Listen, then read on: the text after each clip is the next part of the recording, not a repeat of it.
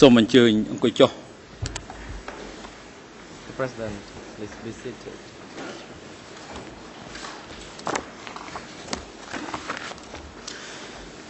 អង្គខ្ញុំជំរះប្រកាសបន្ត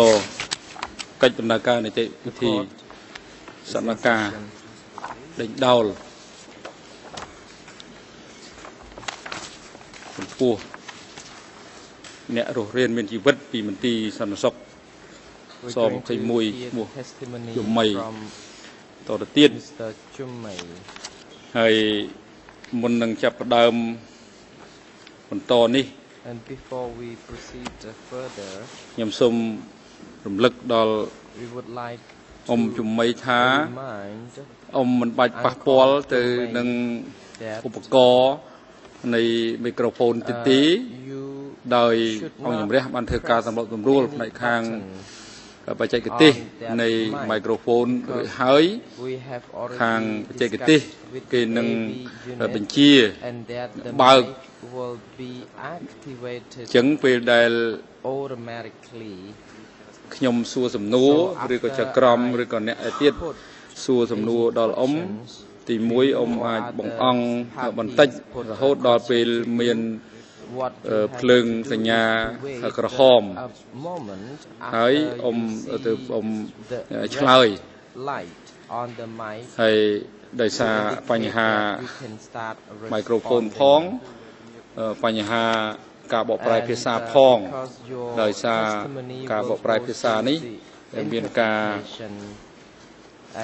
ទាមទារ it ពេលវេលា takes some time មួយចំនួន for ដើម្បីឲ្យមានលទ្ធភាពក្នុងការបកប្រែទៅភាសាអង់គ្លេសហើយនិងពីភាសាអង់គ្លេសទៅភាសាបារាំងទៀត interpreted into another language and then ហើយ you មន្ត្រី can តុលាការដែលជាអាចទៅរៀបចំមីក្រូហ្វូនគាត់ដាក់ឲ្យចំហៀងទៅដើម្បីឲ្យគាត់បានមើលនៅមីក្រូហ្វូននេះនៅសញ្ញាក្រហម ជាសញ្ញាថាគាត់អាចចាប់ផ្ដើមនិយាយបានបើដាក់ចំមុខអញ្ចឹងប្រហែលជាគាត់មិនអាចមើលឃើញនៅ somewhere so សញ្ញា that ក្រហម it's បានទេ convenient enough for him to see the red light so that he knows when to begin soit responding positionné de manière confortable pour le témoin, de manière à permettre ces réponses.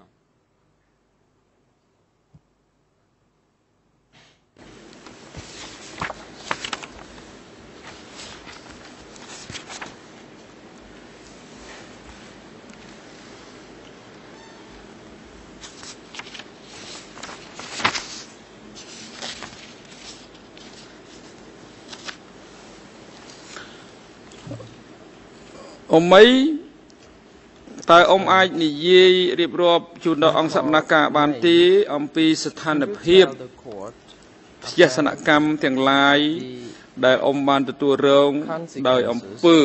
នៃកងកម្លាំងរបស់ you ខ្មែរ have ក្រ been ហម inflicted បានប្រព្រឹត្ត on ចំពោះ by អ៊ំ the Khmer Rouge ក្នុងអំឡុងពេលដែលអ៊ំបានជាប់មន្ទីរឃុំឃាំង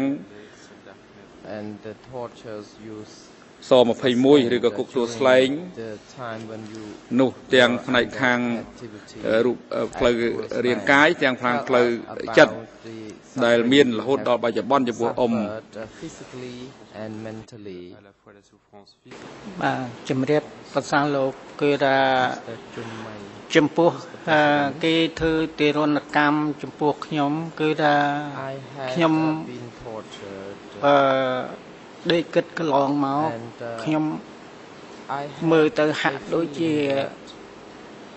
ដូចជាសត្វដូចជាធាត I was បញ្ហាហ្នឹងគឺថា more like an animal ខ្ញុំពិបាកមែនទែន and ពេលដែលចូលទៅឃើញអាកេះក្របហ្នឹងគឺថាវាសម្រាប់ឲ្យបត់ជើងធំកេះក្របហ្នឹងហើយអាកដុង4លីត្រនោះឲ្យឈឺនោមនៅហ្នឹងបាទពេលហ្នឹងគឺថាខ្ញុំនឹកឃើញថា and I រោអស្អីក្រាលដេកក៏អត់មានដេកនៅឥត horrible បាទដេកនៅឥតហ្នឹងមានតខោខ្លីមួយទេហ្នឹងមានតខោខ្លីមួយដេកនៅឥតហ្នឹងហ្មង on បាទទោះអឺបត់ជើងធំក៏នៅហ្នឹងបត់ជើងតូចក៏នៅហ្នឹងហើយធំស្អុយពេញហ្នឹងទាំងអស់ on the bed ក្នុងរយៈពេល2អន្លប់ថ្ងៃ2អន្លប់យប់ហ្នឹងគេជះទឹកឲ្យខ្ញុំបាន12ដងឯង and the same place where we ate and slept and twice a week we would be sprayed the water on the mic of the president uh, is not អងខ្ញុំដែរពិនិត្យឃើញស្ថានភាពអ៊ំហ្នឹងគឺមានការពិការនៅកញ្ចក់ទាំងសងខាងរបស់អ៊ំដោយសារការ ធ្វើរនកម្មគឺគេយកតកាប់ច្បាច់ហើយនឹងដកកញ្ចក់ចេញហ្នឹងគឺទី1ទី2ស្ថានភាពដូចជាការវាយនិងរំពាត់ជាច្រើនលើកច្រើនសារច្រើនរំពាត់នឹងការ ដែលគេឆក់ខ្សែភ្លើងហ្នឹងវាមិនទាន់មិនសម្ដែងឃើញជារូបភាពជាក់លាក់នៃស្ថានភាពរបួសពិការទេតែស្ថានភាពខ្លួនរបស់អ៊ំនេះស្ថានភាពហ្នឹងតើយ៉ាងម៉េចទៅទី2តើបញ្ហាអារម្មណ៍អ៊ំយ៉ាងម៉េចដែរ but we want បច្ចុ to ប្បន្ននេះ know phys- uh, sorry mentally how you have suffered uh, from Nous n'avons pas euh, that, constaté uh, d'autres marques sur le corps, traumatization mais the president ម្ដងទៀតអ៊ំអ៊ំកុំចុចកុំប៉ះចាំមានសញ្ញាភ្លើងក្រហមមកសូមអ៊ំនិយាយដើម្បីទុកពជាពេលបន្តិចទងំតែរងចាំអ្នកបកប្រែភាសាហ្នឹងបកប្រែភាសាដែលខ្ញុំសួរសិន Uh, the light only is on when the translation from my question is uh, allumé, rendered. la lumière rouge apparaît. ពេលដែលអឺ គេធ្វើទារុណកម្មហ្នឹងខ្ញុំហាក់បីដូចជារែងថាមិនមែនជាមនុស្សដូចសត្វចឹងហ្នឹងបាទពេលមកឃើញអាកេះក្របនៅកន្លែងហ្នឹងបត់ជើងធំហ្នឹងហើយអាកដុងបត់ជើងតូចហ្នឹងហើយអឺគេឲ្យយើងដេកនៅឥដ្ឋហ្នឹងគឺ ourselves and put មានលិមុខក៏មាននៅនឹងទឹកនោមក៏មាននៅនឹងស្អុយឆ្អាបពេញហ្នឹងហើយក្នុងរយៈពេល2 10ថ្ងៃ2 10យប់ហ្នឹងគេជះទឹកដាក់ខ្ញុំបានតែ2ដងទេ and uh, they sprayed waters on us twice a week. អារម្មណ៍របស់អ៊ំឥឡូវមិនដែរព្រោះវាអាចមានប៉ះពាល់អីទេឬក៏អ៊ំស្មារតីអ៊ំនៅចងចាំធម្មតាដូចជាស្ថានភាពធម្មតាពីមុនដែលអ៊ំ Encountered អឺទទួលរងនៅក្នុងអំពើដែលប៉ះពាល់លើអ៊ំក្នុងរបបខ្មែរក្រហមឬក៏មានការប្រែប្រួលយ៉ាងម៉េច torture. So has your mental Quelle a été ch- uh, fitness changed after that? ចំពោះអឺខ្ញុំបាទហ្នឹងមានអារម្មណ៍ថារាល់ថ្ងៃហ្នឹងគឺថាអារម្មណ៍របស់ខ្ញុំគឺថាវាមានអឺបដោតអឺ Mentally, ចំពោះមកលើតុលាការ been ដើម្បីអឺឲ្យតឡាការ so much attention ជួយរ to កយុត្តិធម៌ចំពោះរូបខ្ញុំ And I really បារម្ភ would ខ្ញុំ like រាល់ថ្ងៃគឺតែ the ចឹង court ហ្មង to find justice for me. That's what I am ហើយ concentrating. កន្លងមកគឺថាខ្ញុំមកតុលាការនឹងរហូត So far, I have តាំងពីអើយមកខ្ញុំមករហូតបាទដើម្បីចង់ស្ដាប់ចង់ដឹងចង់ឮចំពោះអឺលោកអឺប្រធានចៅក្រមរឿងកាត់ក្តីនឹងយ៉ាងម៉េចអីយ៉ាងម៉េចខ្ញុំតាមដានរហូតមកមកពេលនោះគឺតែអារម្មណ៍របស់ខ្ញុំគឺថាទឹកភ្នែកហូររាល់យប់ I cry every night. ឲ្យតលឺគេ Every time I hear និយាយ people រឿងខ្មែរក្រហមនឹងឡើង talk about Mary, វានឹកដល់ it reminds me រឿងកូនមកពួន of my wife ម្ល៉េះ and kids.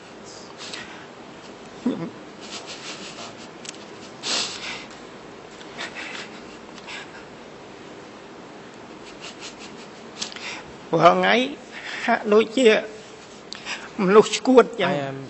រាល់ថ្ងៃអា like រម្មណ៍ a របស់ខ្ញុំ mentally ill person now. គឺថានឹកឃើញប្រពន្ធគេយកទៅដាក់នៅព្រៃសរ I could ហើយ think ខ្ញុំគេយកមកដាក់នៅ the time when my ស wife 21ទួលស្លែង S24 ហើយពេលនោះ Appraisal and I was ប្រពន្ធខ្ញុំ placed ទម្ងន់ at ផង S21. She ហើយ was ការឆ្លង pregnant ទលេហ្នឹងមិនដឹងជា and យ៉ាង I ម៉េច did ទេ not know how she could ពេល deliver ថ្ងៃ the មួយ baby. ឮសូរ And លោកចៅក្រម one day I heard សួរពីរឿង the judge អឺអឺ about នៅព្រៃសរ the គេ situation ថា at មាននារី Praise នារី Saw. ពោះធំ And 8 they- នាក់ហ្នឹង we- I learned that គឺតែខ្ញុំ uh, ទ្រាំ the អត់បាន age of ហូរទឹកភ្នែកមកឯង pregnant មក women And then I could 8នាក់ not ហ្នឹង hold តាម back ដំណើរ my មាន tears គ្រួសារខ្ញុំ having ដែរ heard about ប្រហែល the ខ្ញុំគាត់តែ woman ប្រហែល death, ទេ presuming that my wife ហើយ would be among ដល់ល them. បលាខ្ញុំធ្វើដំណើរទៅក៏ជួបគ្រួសារខ្ញុំថាឆ្លងទន្លេបាន2ខែហើយហើយធ្វើដំណើរសំដៅទៅរឿងអំលៀងទៀត Baby already វាទេសកាលអីឲ្យឃើញគេកើតកូននៅ And then មលុបថ្នោត I when during my journey គេកើតកូននៅ I saw មលុបថ្នោតនឹងពេលនោះហើយគ្រួសារខ្ញុំក៏បានឲ្យកម្មាគេមួយទៅហើយខ្ញុំក៏ធ្វើដំណើរទៅទៀតទៅបាទ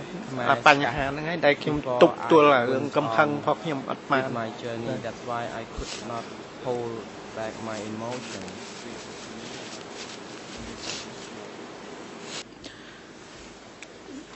អស់លោកលោកស្រីចក្រមតើ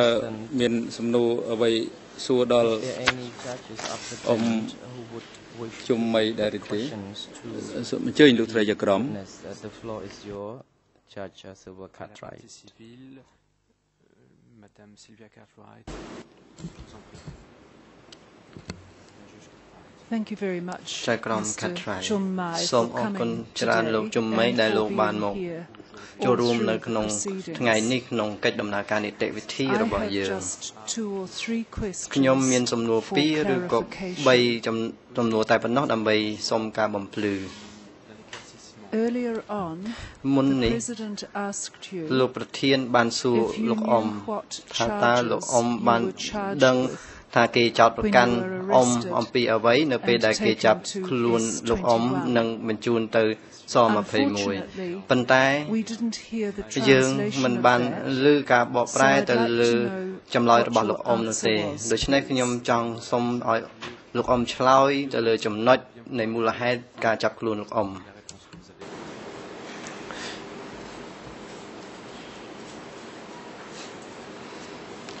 ជំរាបប្រសាសន៍លោកគឺថាពេលនោះគឺថាគេចោទខ្ញុំថាខ្ញុំជា CA ជាការ CB CIA បញ្ហាហ្នឹងគឺថាខ្ញុំបាទអត់ដែលស្គាល់រឿង CA ការ CB ខ្ញុំអត់ដែលស្គាល់ទេ តែឮសូរគេនិយាយមែនតែរឿងទួនាទីគេមិនដឹងនិយាយធ្វើអីទេបាទ អាបញ្ហាហ្នឹងហើយដែលខ្ញុំរហូតមករាល់ថ្ងៃហ្នឹងដែលខ្ញុំចង់ដឹងតារឿងខ្ញុំជា CA ការ CB ហ្នឹងតើវាចេញពីប្រភពណាមកខ្ញុំចង់ដឹងទេពួកខ្ញុំវាអត់ដែលស្គាល់រឿង CA ការ CB ហ្នឹងសោះ being CIA and KGB because I have never known anything about them. So the first ចៅក្រម people to mention ដូច្នេះ CIA បុគ្គល or ដែលគេ KGB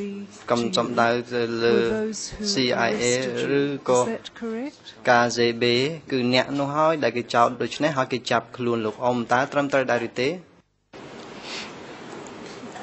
ការនឹងត្រឹមត្រូវឲ្យជំរាបប្រសាសន៍លោកក៏ប៉ុន្តែអាបញ្ហា CA ការ CB ហ្នឹងអឺលោកស្រីមើលខ្ញុំអត់អស់ចិត្ត I អត់អស់ចិត្តយ៉ាងម៉េច satisfied កូនខ្ញុំទឹកប្រហែល2ខែគេយកទៅសម្លាប់ my ហើយអាកូនអឺហើយនឹងឧទាហរណ៍ថានៅទួលស្លែងហ្នឹងអឺគាត់លើកឡើងថាមានកុមារកុមារជាប់អឺ2000នាក់ហើយខ្ញុំចូលមើលរូបថតហ្នឹងមានយាយខ្លះគាត់អស់ថ្មិញឲ្យលេងប្រហែលជាអាយុ70 80សួរថាយាយនឹងគាត់ចេះធ្វើ CA ការ CB ដែរយ៉ាងម៉េចហើយក្មេងទៅមិនបាន2ឆ្នាំតើក្មេងនឹងចេះធ្វើ CA ការ CB ដែរយ៉ាងម៉េចអារឿងហ្នឹងខ្ញុំចង់ដឹងថាបញ្ហាហ្នឹងតើអា បញ្ហាហ្នឹងខ្ញុំខ្ញុំស្មានចិត្តខ្ញុំទេគឺតែការបំបត្តិពូជសាសន៍អាហ្នឹង so I បាទ could ជំរាបលោក believe ស្រី that what they were doing was to really eliminate uh, race When you say that ចៅក្រមនៅពេលដែល2000 children អ៊ំ were និយាយ detained ថាក្មេង and your 2000នាក់ two-month-old ត្រូវបានគេ child ឃុំ was ខ្លួន taken ហើយ away. កូន2ខែរបស់លោកត្រូវបានគេយកទៅឆ្ងាយ or លោក S21? អ៊ំនិយាយអំពីព្រឹត្តិការណ៍នេះនៅព្រៃសរឬក៏និយាយអំពីព្រឹត្តិការណ៍នៅស21មៀបសាកអឺគឺថាពេលអាដែងអឺគឺថាខ្ញុំចេញទៅហ្នឹងគឺថាខ្ញុំចេញទៅជួបគ្រួសារខ្ញុំនៅអឺ my wife នៅភ័យស at, uh, Praise ជួបគ្រួសារនៅភ័យអឺ ខួសពីភ័យសទៅទៀតទៅនៅគេហៅថាអង្គស្នួលនោះជួបគ្រួសារខ្ញុំទាំងហ្នឹងគាត់ឆ្លងទលេបាន2ខែហើយបាទពេលនោះខ្ញុំទៅជួបមាននារី3 4នាក់នៅត្រង់អាអង្គស្នួលហ្នឹងដល់ហើយអញ្ចឹងខ្ញុំសុំជួយ3កូនទៅផងគេថាអើ3 3ទៅខ្ញុំក៏ជួយ3កូនទៅហ្នឹងគឺថា នាំគ្នាឆ្លងកាត់ខ្នល់ទៅខាងជើងដល់ឆ្លងកាត់ខ្នល់ទៅខាងជើង គឺថាមានឡានវៀតណាម គឺថា2ឡាន គឺថាសេមសេ2ឡាន បាទមកដល់វាបាញ់មួយកណាត់ហ្នឹងមួយកណាត់ត្រឡប់មកក្រោយវិញមួយកណាត់ឡើងទៅហួសទៅហើយខ្ញុំបាទឡើងទៅជាមួយគ្រួសារខ្ញុំជាមួយតាអេងហើយពួកអឺតាអីតាឌីផុនអីហ្នឹងក៏ទៅតាមផ្លូវហ្នឹងដែរមួយកណាត់មកក្រោយមួយកណាត់ទៅមុខបាទ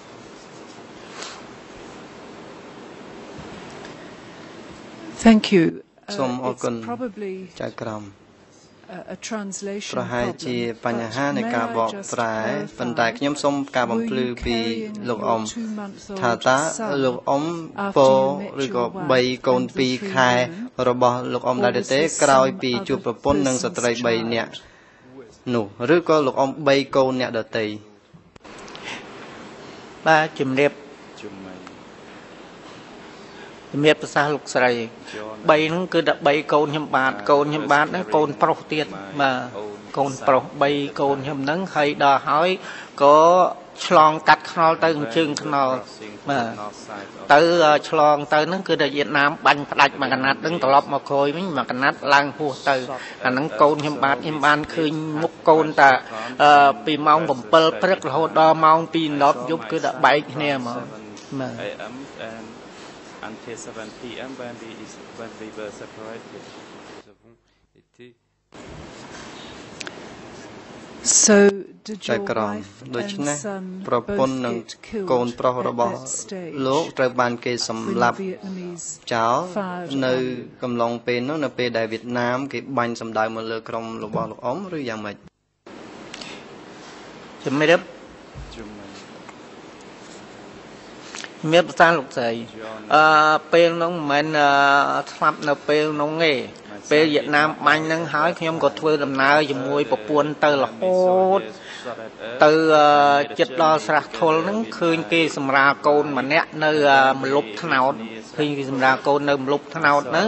ហើយគ្រួសារខ្ញុំក៏បានឲ្យកម្មាគេមួយ ឲ្យកម្មាគេមួយបានធ្វើដំណើរទៅទៀតបាទ And then we continued our ធ្វើដំណើររហូតទៅដល់វត្តស្រះធុលហ្នឹង Srah ទៅដល់វត្តស្រះធុលហ្នឹងយើងចូលទៅវត្តហ្នឹងរកសុំអង្គគេរកសុំអង្គគេអឺបបរបាយហូប in order to ហើយយើងមើលឃើញអឺនៅក្នុងទិដ្ឋភាពនៅក្នុងវាមានឃើញតាហ៊ានតាហ៊ាននេះប្រហែលជា50នាក់ នៅវត្តហ្នឹងដល់ហើយ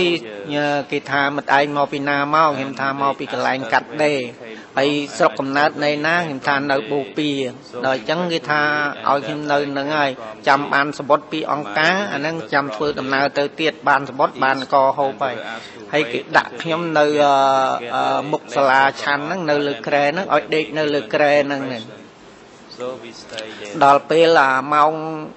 តាមខ្ញុំប៉ាន់ស្មានទេខ្ញុំអត់មានម៉ោងទេប៉ាន់ស្មានប្រហែលជាម៉ោងចិត្ត about ពី10ហ្នឹងតែហ៊ានអស់ហ្នឹងទៅបាត់អស់ទៅនៅសល់អាឆ្លប់ម្នាក់នៅដើរយាមជុំវិញក្រែហ្នឹងបាទយាមជុំវិញក្រែហ្នឹងរហូតប្រហែលជាម៉ោង2:10ខែភ្លឺទេស្រាប់តែឃើញ3នាក់មកក៏ភ្លើងគ្រប់ដៃហ្មងបាទភ្លើងគ្រប់ដៃមកដល់សួរអាអ្នកឆ្លប់យាមហ្នឹងសួរថាឯណា3នាក់ដែលយកទៅវាយចោលហ្នឹងអឺ វាថានេះនៅដេកលើក្រែហ្នឹងបាទដល់អញ្ចឹងខ្ញុំភ្ញាក់ខ្លួនឡើងភ្ញាក់ខ្លួនឡើងកេះគ្រួសារឲ្យឡើងហើយកេះតាឯងហ្នឹងឲ្យឡើងដល់ហើយវាថាឥឡូវបានត្បត់ពីអង្គការហើយដោះវាជូនដំណើរទៅ and then they told me ដល់ហើយវាប្រាប់គ្រួសារខ្ញុំថាមិត្តនារីដើរទៅមុនមិត្តនារីដើរយឺតណាស់បាទ they said ដល់ដើរយឺតចឹងហើយ to go first ទទួលអឺវាឲ្យដើរផុតពីវត្តហ្នឹងខែជា1គីឡូដី ខែ1គីឡូដីខែភ្លឺស្រាប់លឺសូរបាញ់ភ្លើងរាវចឹងទៅគ្រួសារខ្ញុំស្រែកប្រាប់ ប៉ាភាពអើយរត់ទៅប៉ាភាពអើយរត់ទៅ គេសម្លាប់ខ្ញុំហើយទទួលបន្ទាប់មកវាបាញ់ត្អេងពីមុខខ្ញុំហ្នឹងទៀតប្រហែលពីហ្នឹងទៅនោះ for me តែ5ម៉ែត្រ6ម៉ែត្រហ្នឹងបាញ់ត្អេងដួលព្រុសនៅពីមុខខ្ញុំហ្នឹងបានខ្ញុំរត់រត់ទៅវាបាញ់ខ្ញុំពីក្រោយមកបាញ់ខ្ញុំពីក្រោយអស់ប្រហែលជាមួយបងអញ្ចឹងទៅខ្ញុំរត់គេចដបោកគេចដបោកតែខ្ញុំអត់ចូលដបោកហ្នឹងទេខ្ញុំផ្ដួលខ្លួន លូនអែបភ្លឺស្រែអញ្ចឹងហ្មងបាទលូនអែបទៅវាថាចូលដបោកហ្នឹងមិញចូលដបោកហ្នឹងមិញដល់ហើយវារកបាញ់ក្នុងដបោកហ្នឹងតែពេលនោះខ្ញុំលូនទៅឆ្ងាយខ្ញុំចាប់រត់តែពេលហ្នឹងបាទ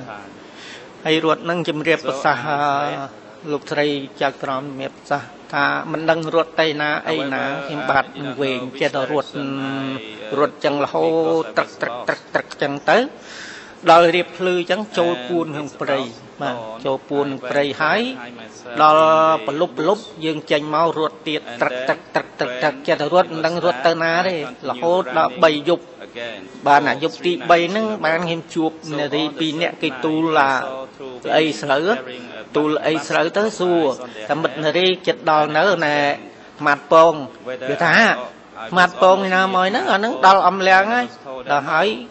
គេថាស្មាត់ពងនៅក្រោយនោះដល់ហើយខ្ញុំក៏រត់ត្រឡប់មកក្រោយវិញបាទដល់រត់មកក្រោយអញ្ចឹងរៀបភ្លឺទៅយើងចូលពួននៅព្រៃនៅព្រៃទៅបាទពេលយប់យើងមើលគ្នាអត់ស្គាល់យើងចេញមករត់ទីត្រឹកត្រឹកត្រឹកត្រឹករហូតបាទដល់មកដល់ចិត្តដែលយើងអឺអឺនំហាត់ពងហ្នឹងគេហៅភូមិធំមកដល់ហ្នឹងសួរគេទៅគេថាអូ ខ្ញុំហាត់ពងមើលឃើញលឹមលឹមអាហ្នឹងប្រហែលជាម៉ោង4ភ្លឺម៉ោង5ភ្លឺហ្នឹងដល់អញ្ចឹងខ្ញុំសំដៅទៅខ្ញុំហាត់ពងហ្នឹងបាទសំដៅទៅខ្ញុំហាត់ពងហ្នឹងទៅដល់អាជើងខ្ញុំហាត់ពងអាកាលខ្ញុំទៅប្រជាជននៅជួរតាមខ្ញុំហាត់ពងហ្នឹងដល់ខ្ញុំទៅដល់អាពេលនេះគឺថាអស់ប្រជាជននៅលីងបាទដល់អញ្ចឹងខ្ញុំចូលទៅអាខ្ទមមួយខ្ញុំបានអាកបិតកែមួយប្រវែងនេះខ្ញុំលីកបិតកែហ្នឹងដើរបានបន្តិចមកខ្ញុំឃ្លានពេកខ្ញុំចូលទៅអាផ្ទះមួយអាខ្ទមមួយនោះទៅកាប់ដើមពៅគេបានពីរដើមហើយកាប់បានពីរដើមពេលនោះខ្ញុំហូបអត់ចង់ខ្ជាក់ចោលទេពេលនោះវាទៅឃ្លានពេកចង់លេបតង្កាក់ហ្នឹង បាទចិត្តដើរតាមផ្លូវអាដែលយើងទៅមុនហ្នឹងដើរតាមផ្លូវហ្នឹងត្រឡប់មកក្រោយវិញបាទមកដល់យើងហៅថាភូមិក្តាន់រយហ្នឹងគឺតែជួបពួកគេ5 5 10នាក់ទៀតកំពុងឲ្យប្រជាជនទៅមកផ្ទះឲ្យសម្ដៅទៅអំលៀងបាទហើយគេសួរខ្ញុំមិនអីទៅណាតាំងទៅយកកូននៅសហកស្នោ សួរមកវិញឯងខ្ញុំតាមមកវិញខ្ញុំបញ្ញាប់មកវិញដល់មកដល់ស្នោហ្នឹងសួរម្ដាយមកពីណាមកខ្ញុំថាខ្ញុំទៅយកកូននៅក្រេលបាទពេលហ្នឹងមកដល់ក្រេលហ្នឹងជួបអាគ្រួសារខ្ញុំរាល់ថ្ងៃនេះវានៅដេកជាមួយប្រពន្ធខ្ញុំដែរជួបនៅហ្នឹងបាននាំគ្នានៅផ្ទះហ្នឹងប្រមូលស្រូវកអីអីសពគ្រប់ចឹងទៅដល់ពេលហ្នឹង ពេលឡានអូតូប្លង់ដេឡានវៀតណាមវាបើកតាមម្ដែងនេះឃើញចឹងខ្ញុំរត់ដល់រត់គេថាកុំរត់យ៉ាត់វាបាញ់ដល់ហើយខ្ញុំពួនគល់ថ្នោតទៅ ក្រោយមកបាននេះក្រោយមកបានខាងបែកចាននេះគេមកភូមិស្រុកគេដែរខ្ញុំទៅចុងខ្ញុំសុំទៅដែរទៅបែកចានហ្នឹងទៅនៅបែកចានរោងចក្របែកចានហ្នឹងបាទនៅរោងចក្របែកចានហ្នឹងនៅតែខ្លាចវៀតណាមទៀតខ្ញុំអត់ហ៊ានឲ្យវៀតណាមជួបវៀតណាមទេបាទឲ្យតែឃើញវៀតណាមដើរមកខ្ញុំចូលពួននៅជើងរុកស្រូវចូលពួនអស់2ថ្ងៃក្រោយមកបានចេញបាទឲ្យតែឃើញវៀតណាមមកចូលពួនជើងរុកទៅវៀតណាមចូលមកចូលពួននៅជើងរុកស្រូវអត់ចេញចេញក្រៅទេ Can I just go back ចៅក្រមខ្ញុំសូម when និយាយត្រឡប់ militiaman ទៅវិញនៅពេលដែលឈុំឆ្លង guns at your wife បានបាញ់ទៅលើប្រពន្ធរបស់លោកអ៊ំ I, I understand ខ្ញុំយល់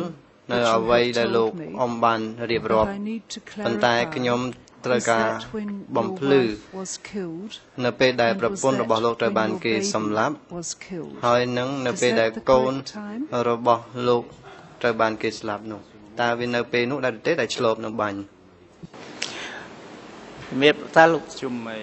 យកណាជំរាបឡើង ប្រសាសន៍លោកស្រីពេលនោះគឺថាកូននោះនៅក្នុងយំនៅក្នុងតែអឺខ្ញុំអឺរត់ចេញឆ្ងាយទៅវាមិនដឹងនៅយំទៀតក៏មិនដឹងអីមិនដឹងខ្ញុំក្តាប់អត់បានដែរ His cry anymore Thank you ខ្ញុំសូមអរគុណ Now just going back very ហើយខ្ញុំ briefly នឹង to និយាយត្រឡប់ the, ដោយខ្លី uh, ៗឡើងវិញ CIA តាក់ទងទៅនឹង and KGB. CER និង KGB You have told me លោក that អ៊ំ you បាន had ប្រាប់ថា heard លោកអ៊ំ those បាន words before, ឮ but you ពាក្យ did នឹង not ពីមុន understand ប៉ុន្តែលោកអ៊ំអត់ដែល what they យល់ meant. ថាតើ Is វាមាន that ន័យ true? យ៉ាងម៉េចទេចំពោះពាក្យ CER និង KGB នោះតើត្រឹមត្រូវដែរឬទេបាទជំរាបសាលោកស្រីពិតទៅជុំមិនយកណា that is correct Thank you. ចៅក្រមសូមអរគុណ And finally, ហើយចំណុចចុងក្រោយលោកអ៊ំបាននិយាយថាឃើញក្មេងពីរនាក់នៅពេលដែលលោកអ៊ំចេញពីស21ហើយលោកអ៊ំបានដឹងថាជាកូនរបស់មនុស្សម្នាក់តើលោកអ៊ំស្គាល់ឪពុកម្ដាយរបស់កូនក្មេងទាំងពីរនាក់នោះដែរឬទេតើឪពុកម្ដាយទាំងពីរត្រូវបានគេឃុំនៅស21ដែរឬទេ their names. ឬក៏ថាតើលោកអ៊ំដឹងឈ្មោះឪពុកម្ដាយនោះតាមរបៀបណា ជុំមីអឺជំរាបសារលោកស្រី John ក្មេងនោះគឺថាខ្ញុំបាទមិននឹងជារស់នៅរបៀបណាទេតែពេលដែលខ្ញុំទៅធ្វើការនៅក្រោយហ្នឹងក្មេងហ្នឹងវាតែងតែចេញទៅរាល់ថ្ងៃអញ្ចឹងចេញទៅរកបបរហូបនៅក្រោយហ្នឹងគឺថាពេលយប់នឹងវាដេកពួននៅណាទេខ្ញុំបាទអត់ដឹងទេតែពេលថ្ងៃគឺតែទៅហើយ However ម៉ោង8ព្រឹកអីហ្នឹងវាទៅរាល់ថ្ងៃអញ្ចឹងតែដល់ពេលនេះខ្ញុំសួរអ្នកបបរហ្នឹងឈ្មោះមិត្តសុសមិត្តសុសហ្នឹងអ្នកបបរបាយហ្នឹងសួរថាមិត្តនារីកូនពីណាទេហ្នឹងហើយវានិយាយប្រាប់ថាកូនហ្នឹងឯងកូនតាជេងអននោះវាជិះប្រាប់ខ្ញុំអញ្ចឹងតាជេងអន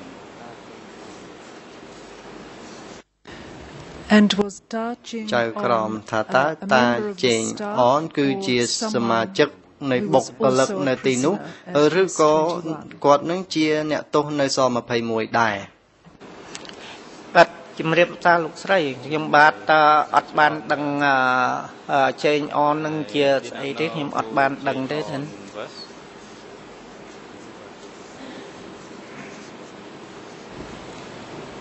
Thank you very much. ចៅ uh, ក្រម Mr. សូម President. អរ I គុណ have no ច្រា further ន questions. លោកប្រធានខ្ញុំអត់មានសំណួរទៀតទេ អស់លោកចក្រមមានទំនួល President. ជំជួយលោកចក្រមសងមក Judges of the bench, if you have any questions, Judge Lavine, should you take the floor? Bonjour, monsieur le témoin. Good morning.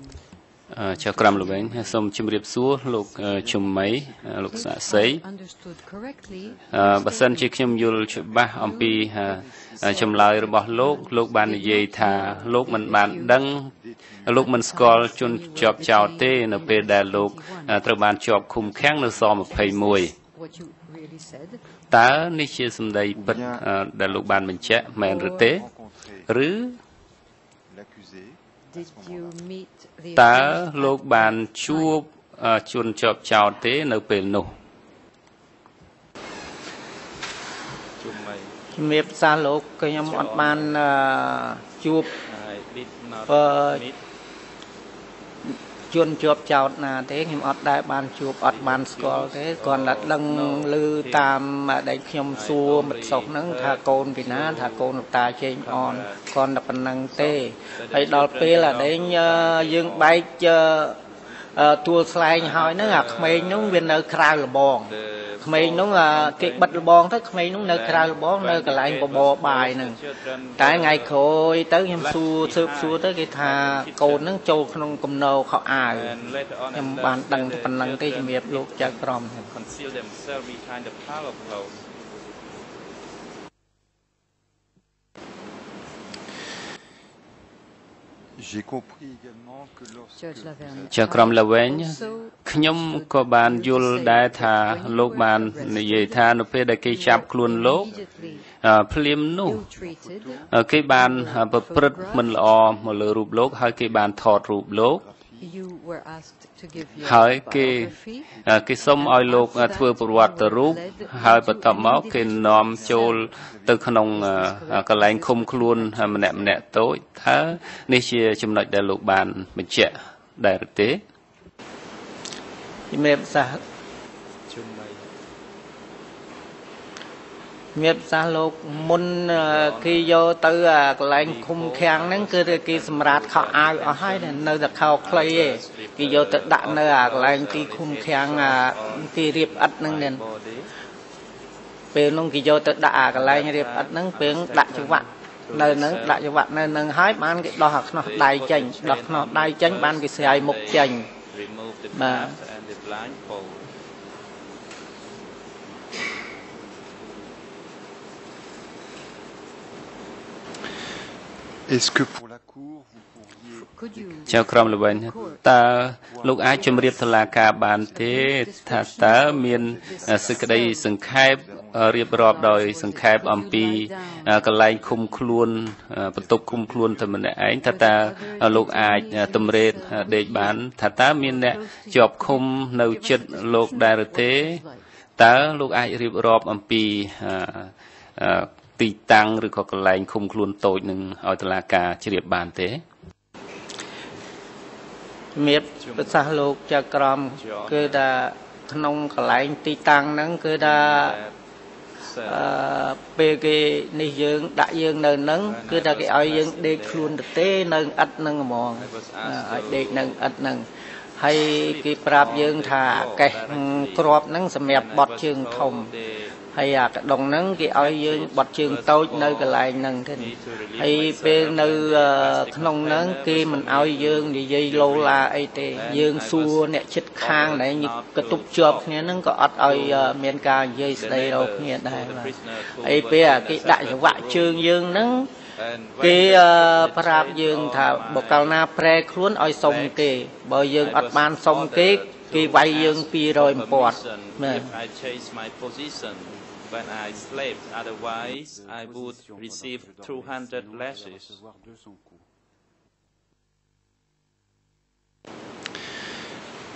Vous êtes resté dans cette cellule ចៅក្រមលវែង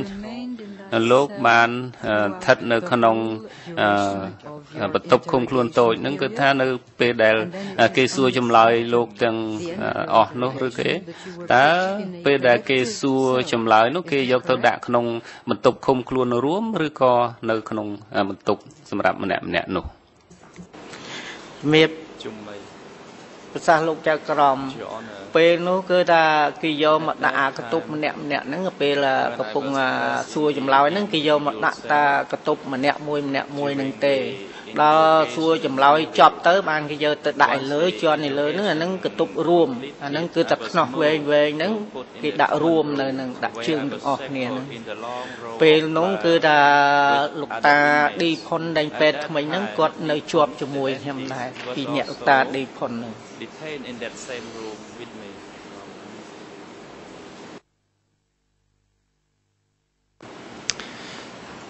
C'est au moment où vous étiez dans la cellule ជាក្រុមលវែងនៅពេលដែលលោកនៅក្នុងឃុំនៅក្នុងបន្ទប់រួម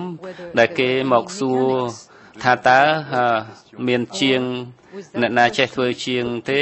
តើគេសួរអ្វីទៀតមុនពេលដែលគេមុនពេលដែលទៅសួរនៅបន្ទប់រួមតើមានគេសួរអ្វីដែរទេមុននឹង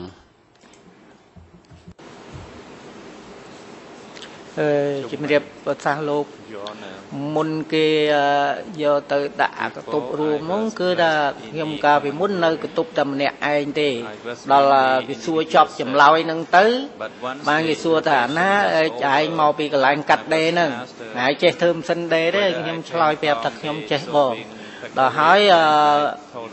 មិត្តធីនឹងថាអើឯងស្អែកហ្នឹងឯងចេញធ្វើការណាអញយកខោអាវឲ្យឯងស្លៀកពាក់ ក៏ប៉ុន្តែឯងគុំរត់ឯងតែរត់បាញ់ចោលហើយអញ្ចឹងខ្ញុំប្រាប់ថាខ្ញុំអត់រត់ទេបងព្រលឹមឡើងគេយកខោអាវមកឲ្យស្លៀកពាក់មែន next morning I was given a set of clothes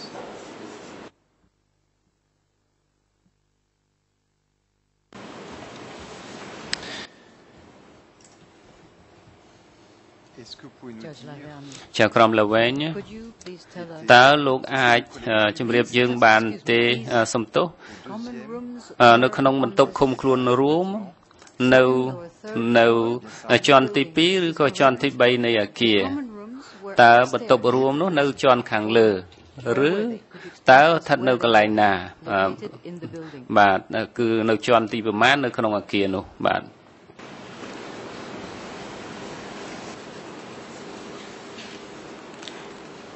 មៀបសាសលោកគឺថាគេយកទៅដាក់ជន់លើបំផុតណាជន់ទី3ហ្នឹងយកដាក់ជន់លើបំផុតបាទអាជន់ទី1មានអាអាកតុបរៀបអិតនៅហើយអាជន់ទី2មានអាកតុបឈើបាទមានអាកតុបឈើបាទពីបាយកតុបឈើអញ្ចឹងហើយអាចន់ទីលើបំផុតអានឹងអត់មានទេអានឹងគេដាក់រួមដាក់ខ្នោះវែងវែងហ្នឹងគេដាក់ខ្នោះរួមហ្មង circled and the long bars. Est-ce que dans cette cellule collective,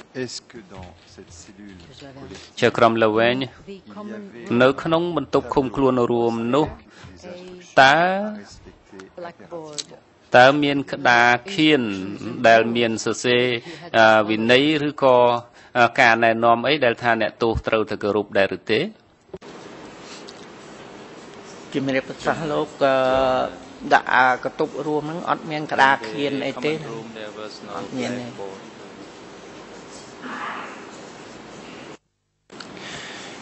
Est-ce que tous les détenus qui étaient dans cette cellule collective all the ចៅក្រមលវែងថាតើអ្នកជាប់ឃុំទាំងអស់ដែលនៅក្នុងបន្ទប់រួមតើគេស្ថិតនៅក្នុងលក្ខខណ្ឌដូចគ្នានឹងរូបលោកដែរឬទេ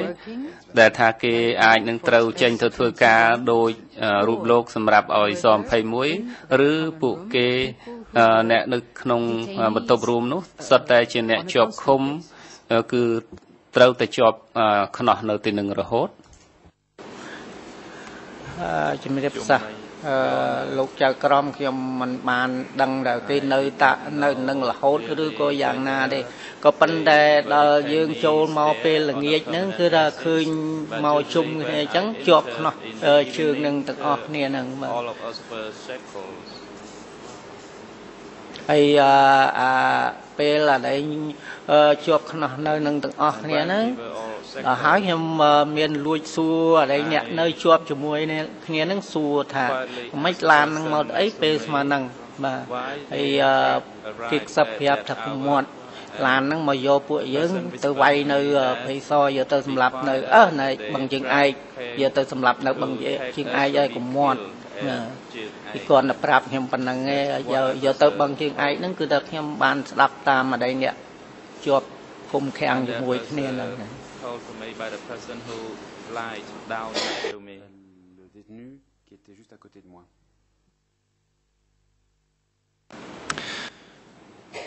Vous êtes resté Judge détenu Lavergne. ចៅក្រមលវែង You were detained in that គេបានឃុំខ្លួនលោកនៅក្នុងបន្ទប់រួមនោះ រហូតដល់តែគេដោះ S21 អ or ឺដោះចេញពីស21ឬក៏លោកមានអឺអឺទទួលការឃុំខ្លួនឬក៏របបឃុំខ្លួនណាមួយផ្សេងពីកន្លែងហ្នឹងដែរឬទេ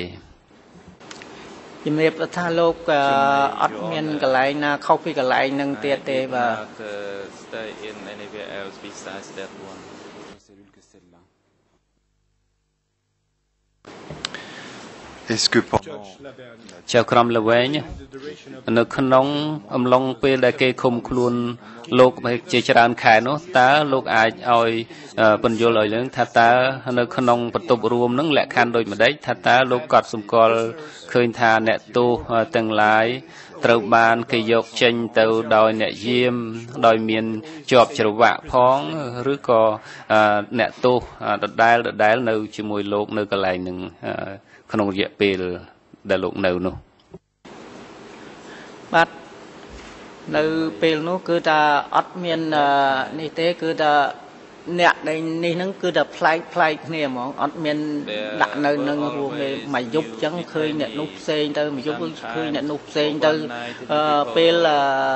គេយកមកដាក់កតុបរួមហ្នឹងពេលហ្នឹងនៅភ្លឺឡើយទេ តែខ្ញុំមើលទៅអាដែលគេទឹកយកមកហ្នឹងគឺថាខោអាវគាត់ប្រឡាក់ផុកទាំងអស់មកសិតតែផុកយកមកដាក់នៅអឺចិត្តខ្ញុំហ្នឹង Clothes with the mat on. est-ce que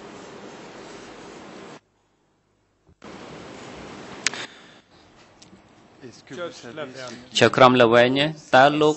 ដឹងដែរឬទេថាតើអ្នកដែលជាប់បាទអ្នកដែលជាប់ឃុំរួមជាមួយលោកតើគេអឺមានរឿងអ្វីកើតឡើងចំពោះគេ មុនពេលដែលចប់អឺប្រតិបត្តិការនៅស21ហើយតើអ្នកទាំងអស់នឹងចាក់ចេញទៅដោយសវត្ថិភាពឬក៏ថាអឺ តើក្នុងចំណោមអ្នកដែលជាប់ឃុំរួមជាមួយលោកនឹងតើជោគវាសនារបស់ពួកគេនេះយ៉ាងដូចម្ដេចតើលោកដឹងទេអបាទជំរាបសាសលោកគឺថាពេលឯងទៅហ្នឹងគឺថាទៅខ្លះក៏បានត្រឡប់មកក្រោយវិញខ្លះក៏បានទៅរហូតទៅដល់អំលៀងហ្នឹង អ្នកដែលខ្ញុំដឹងច្បាស់ហ្នឹងគឺថាតាទួនជាងធ្វើនាលការហ្នឹងគឺថាស្លាប់ហើយហើយតាឌីផុនដែលនេះហ្នឹងគាត់គាត់ស្លាប់ដែរតាឌីផុនដែលធ្វើថ្មិញហ្នឹងក៏គាត់ស្លាប់ដែរ Dipon was the dentist whom I referred to. Le dentiste dont j'ai déjà parlé.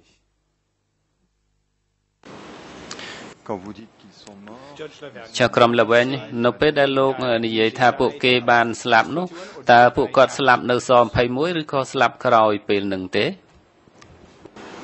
បាទជំរាបប្រសាសន៍លោកថាស្លាប់ទៅខាងអំលៀងបាទ At the បើ vicinity តាម near ខ្ញុំដឹង Omleng. ខាង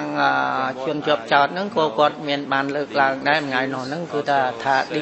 ថាឌីផុនហ្នឹងគាត់ស្លាប់ហើយស្លាប់ដោយជំងឺ Died of uh, illness.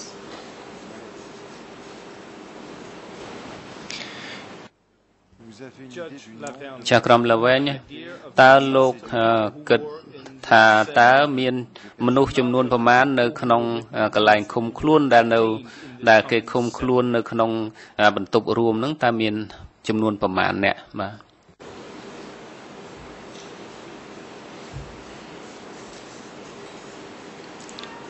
នៅក្នុងអឺបន្ទប់រួមហ្នឹងបើតាមខ្ញុំមើលប៉ាន់ស្មានប្រហែលជា Could estimate ប្រហែលជា40នាក់នេះ there were នៅក្នុងក about តុបរួមហ្នឹង40 of us. ប្រហែល40នាក់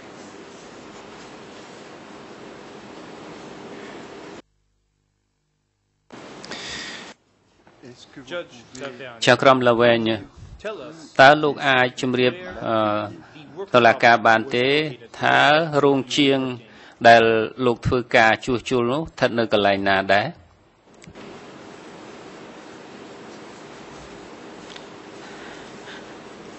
ជំរាបប្រសាសន៍លោកចៅក្រមអឺរោងជាងនៃអឺខ្ញុំនៅជួសជុលនោះនៅខាងក្រោយនេះនឹងទៀត It was នៅខាងក្រៅលបងព្រោះអាកាលមុនហ្នឹងមានលបងស្កាត់មកកន្លែងហ្នឹងនៅខាងក្រោយហ្នឹង at that time there was another ហើយអឺ plant ដល់រោងជាងហ្នឹងនៅខាងក្រោយហ្នឹងមានដីវាលធំហើយប្រក់ប៉ាំងអស័យពីលើក៏ប៉ុន្តែអត់មានជាងអត់មានអីទេគឺថាមានកន្លែងគេដាក់ខោអាវដែលអឺគេយកអ្នកទោសទៅអឺ of clothes វាយនៅបឹងជើងឯកហើយអាខោអាវហ្នឹងគេយកមកវិញ prisoners ហើយអឺដល់នេះចឹងទៅអឺ មានអឺបន្តមកទៀតមានកន្លែងបបរបាយមានផ្ទះធំធំបបរបាយហើយបន្ទាប់មកហ្នឹងគឺថាកន្លែងខ្ញុំជួសជុលអឺម៉ាស៊ីនបាទជួសជុលម៉ាស៊ីនហើយបន្ទាប់មកទៀតអឺកន្លែងទឹកគួងនេះគាត់ទៅ and at តា another គួងហ្នឹងគាត់តែជាងឈើបាទជាងឈើគាត់ជួសជុលឈើកៅអីធ្វើអីអីនៅចិត្តហ្នឹងហើយបន្ទាប់មកទៀតមានកន្លែងគេចិញ្ចឹមទន្សាយ and next to that ចិញ្ចឹម it ទ was ន្សាយ nice ចិញ្ចឹមមន់ចិញ្ចឹមជ្រូកអីស្អីគេតែងតែយកបាយជ្រូកឲ្យជ្រូកទីហ្នឹង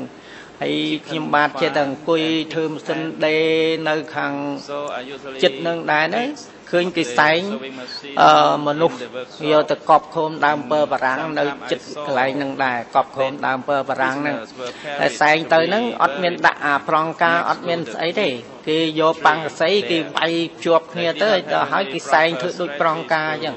យកទៅកប់ខូនដើមពើបារាំងហ្នឹងហើយក្រុមដើមពើបារាំងហ្នឹងដើមពើបារាំងហ្នឹងនៅពីមុខខ្ញុំអឺធ្វើម៉ាស៊ីនដេរហ្នឹងបាទ and that big tree was just opposite the workshop where I fixed the sewing machines mécanique où je réparais les machines à coudre. Donc si, si je comprends ចៅក្រុមល្វែងដូច្នេះបើសិនជាខ្ញុំយល់អឺការបញ្យល់របស់លោកហ្នឹងគឺថាអញ្ចឹងកន្លែងរោងជាងហ្នឹងมันស្ថិតនៅក្នុងបរិវេណធំនៃស21ដូចនេះគឺនៅខាងក្រោយបរិវេណដែលមានអគារនោះ អញ្ចឹងលោកបានបញ្ជាក់ថាมันមានអឺចិញ្ចាំងទេមានតែដំបូលកន្លែងរោងជាងហ្នឹង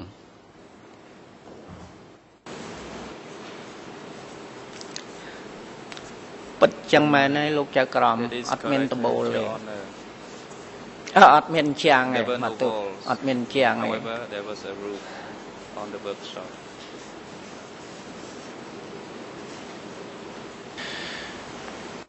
Quand vous étiez à l'atelier, ចៅក្រុមល្វែង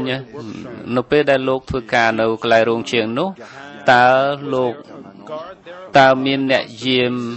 យាមជាប្រចាំដើម្បីមើលលោកធ្វើការទេឬលោកតើមានការផ្លាស់ប្ដូរអ្នកយាមតើគេចាត់វិធានការអ្វីចំពោះលោកតើលោកមានសេរីភាពអ្វីខ្លះទេដូចជាសេរីភាពដើរឬក៏និយាយអីបន្តិចបន្តួចនោះ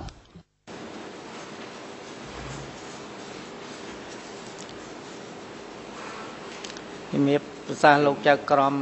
អឺយើងអត់មានដើរហើរបានទេពេលហ្នឹងគឺដល់យើងនៅកន្លែងណាធ្វើការកន្លែងហ្នឹងហ្មងអត់មានដើរអើដើរបត់ជើងតូចអីបានដើរចុះឡើងតិចតួចចិត្តចិត្តហ្នឹងហើយមានគេយាមនៅហ្នឹងមានអឺឈ្មោះមិត្តចាបនៅយាមនៅហ្នឹង There was a person guarding us. His name was Jab.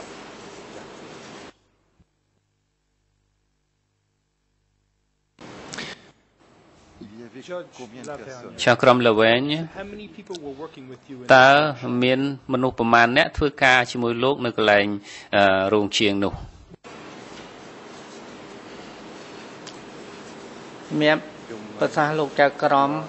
នៅក្នុងមានអឺតាប៉ិច There were ហើយអឺតាគួងខ្ញុំបាទហើយនឹងតាឌីផុនហ្នឹង and អឺមាន4នាក់ so គឺ there 5នាក់ហ្នឹងហើយមាន4នាក់មើល of us អឺលោកពេជ្រតាឌីផុនតាគួងខ្ញុំ4នាក់ដែរ Kong and myself. Bốn nè. So four. Et alors, ចៅក្រុមល្វែងដូច្នេះតើ qu'ils étaient tous បាទតើអ្នកទោសទាំងនោះទទួលជោគវាសនាដូចម្ដេចតើតើ នៅពេលដែលអឺគេរំដោះស21តើគេទៅណាតើគេនៅទីនឹងរហូតដល់អឺពេលដែលអឺបិទស21ឬយ៉ាងដូចម្ដេច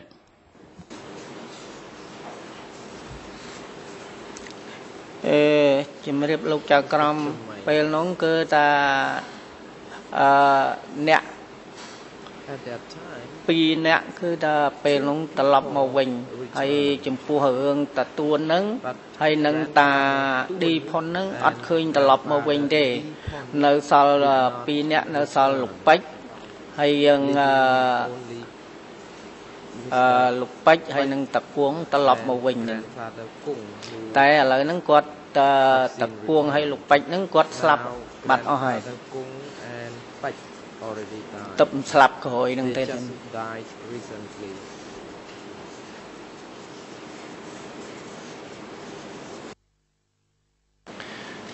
quand vous dites ចៅក្រុមល្វែងនៅពេលដែលលោកនិយាយថាអឺអឺអ្នកទោសពីរនាក់ដែលមិនបានត្រឡប់មកវិញនោះតើលោកមានន័យថាគេបាត់ខ្លួនដោយសារតែគេយកចេញទៅ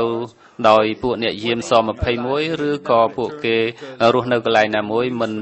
បានត្រឡប់មកវិញដោយសារថាលោកមិនដឹងតំណែងពីគេហើយក៏ថាមិនបានត្រឡប់មកវិញនោះនេបសាសលោកអឺខ្ញុំអត់បានដំណឹងពីណានាទេតែខ្ញុំឮសូរជួនជាប់ចោតគាត់ប្រាប់ថាតាឌីផុនហ្នឹងគាត់ស្លាប់ហើយហើយនឹងអឺតាទួននេះគឺថាខ្ញុំសួរ នៃអ្នកវិលត្រឡប់មកវិញហ្នឹងគឺថាថាស្លាប់អស់ដែរ Who confirmed that that Tuan or grandfather Tuan also died.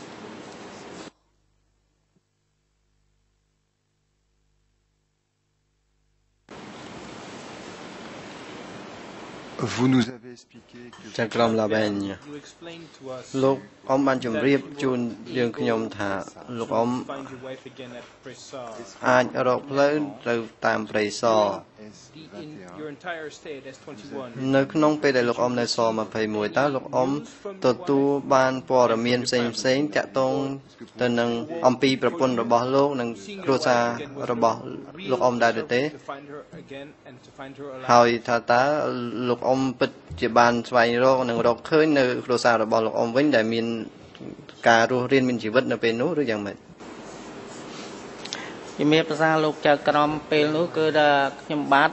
អត់បានតំណាក់តំណងអីជាមួយនឹងគ្រួសារដែលគេយកទៅដាក់គុកនៅព្រៃសរហ្នឹងទេអត់បានតំណាក់តំណងគ្នាទេ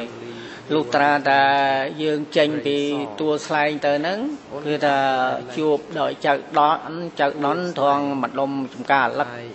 ពេលដែលវៀតណាមបាញ់ផ្ដាច់ហើយហ្នឹងគឺថាជួបនៅ while the Vietnamese troop uh, opened fire on us.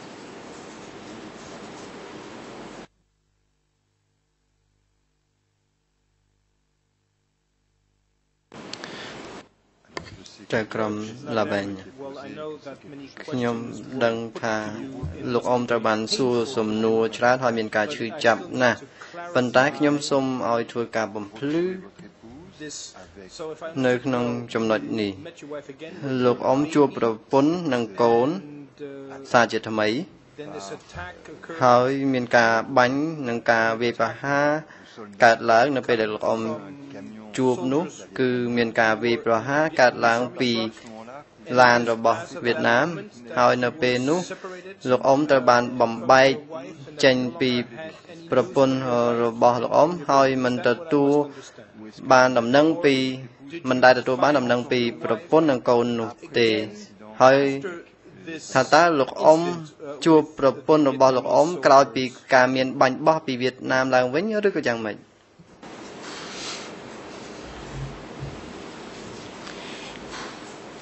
បសាសលោកចក្រមគឺថាពេលដែលខ្ញុំចេញពេលដែលខ្ញុំចេញពីទួលស្លែងទៅហ្នឹងគឺថាពេលហ្នឹងចេញដំណើរទៅហ្នឹងស្រាប់ទៅនៅព្រៃសហ្នឹងមកសន្ធុះធំរៀបធ្វើលឺបានធ្វើដំណើរទៅទៀតធ្វើដំណើរទៅស្រាប់ដើរទៅភ្លឺនៅអង្គស្នួលទៅដល់អង្គស្នួលហ្នឹងគឺថាជួបគ្រួសារខ្ញុំនៅក្នុង ជួបគ្រួសារខ្ញុំនៅហ្នឹងគឺថាទឹកឆ្លងទលេបាន2ខែបាទឆ្លងទលេបាន2ខែព្រោះគ្រួសារខ្ញុំហ្នឹងក៏គេឲ្យធ្វើដំណើរទៅអំលៀងដែរមានស្រីស្រី4 5នាក់ឲ្យធ្វើដំណើរទៅអំលៀងហ្នឹងគឺថាក៏ខ្ញុំសុំគេជួយ3កូនទៅគេថាអើជួយ3កូនទៅក៏ធ្វើដំណើរឆ្លងកាត់ខ្នល់ឆ្លងកាត់ខ្នល់ទៅខាងជើងហ្នឹងត្រង់កន្លែងអង្គស្នួលហ្នឹង ពងមកឆ្លងកាត់ខ្នល់ហ្នឹងស្រាប់តែឃើញឡានវៀតណាម2ឡានមកឡានអាសេមសេហ្នឹងសើតាហ៊ាន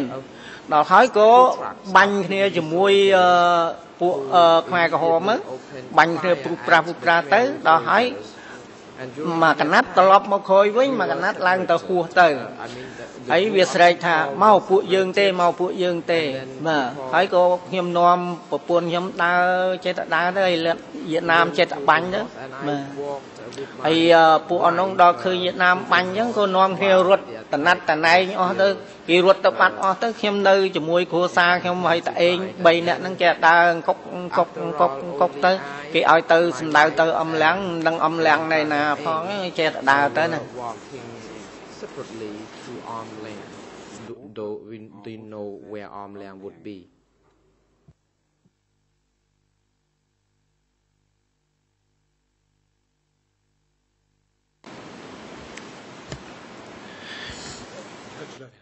ចក្រមឡាវែងតើលោកអ៊ំអាចជម្រាបយើងខ្ញុំបានដែរឬទេថា ចំនួនគ្រួសារពីសមាជិកចំនួនសមាជិកគ្រួសាររបស់លោកអ៊ំដែលបានស្លាប់នៅ សម័យកម្ពុជាប្រជាធិបតេយ្យលោកអ៊ំនិយាយអំពីកូនប្រុសដែលស្លាប់ក្នុងពេលដែលជំលះភ្នំពេញហើយថាតើសមាជិករបស់លោកអ៊ំផ្សេងទៀតបានស្លាប់ក្នុងពេលជំលះនោះដែរឬទេ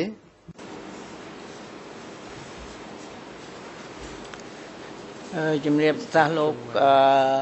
កូនខ្ញុំបានតាខ្ញុំអឺកូនមួយមុនដំបូងហ្នឹងដែល